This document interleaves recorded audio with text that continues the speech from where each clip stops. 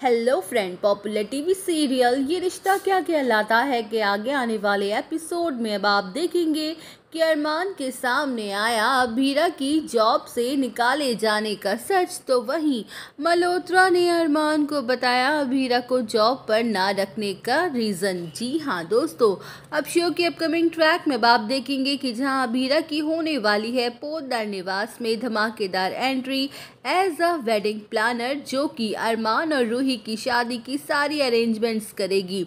तो वहीं अबीरा को ये काम करते हुए देख अरमान होने वाला है शॉक्ड, क्योंकि अबीरा तो मल्होत्रास के फर्म में गई थी जॉब अप्लाई करने के लिए। फिर उसे वहाँ जॉब क्यों नहीं मिली, जबकि अबीरा कितनी ज़्यादा टैलेंटेड लड़की है, जहाँ अरमान मल्होत्रा को कॉल करेगा और पूछते हुए नज़र आने वाला है कि आपने अबीरा को जॉब क्यों नहीं दी? जबकि आपने मुझसे खुद कहा था कि अबीरा बहुत ही टैलेंटेड लड़की है तो फिर आपने उसे अपने यहाँ जॉब पर क्यों नहीं रखा? वेल, अब शो के अपकमिंग ट्रैक में आप देखेंगे कि जहाँ मल्होत्रा ये साफ़ साफ़ कहते हुए नज़र आने वाला है कि इस बात में कोई डाउट नहीं है कि अबीरा एक टैलेंटेड लड़की है, पर हम कर भी क्या सकते हैं? हम चाहकर भी उसे अपनी फर्म में जॉब नहीं देख सकते हैं, क्योंकि आपके घर से हमें कावेरी पोदार और संजय बंसल का स्ट्रिक्टली ऑर्डर आया था कि अबीरा का किसी भी उदयपुर में लॉ फर्म में सिलेक्शन ना हो और ना ही उसे जॉब दी जाए। हम तो बस मजबूर हैं उनके ऑर्डर्स को फॉलो करने के लिए, क्योंकि आपकी फर्म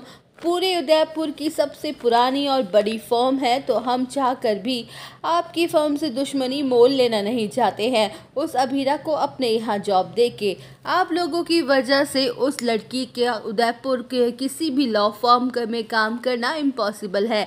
तो वहीं मल्होत्रा की बातें सुन के अरमान को लगने वाला है, तगड़ा झटका।